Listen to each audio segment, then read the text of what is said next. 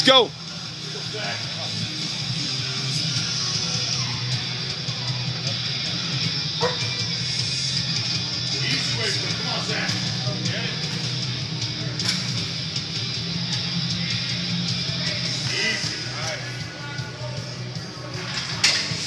Come on.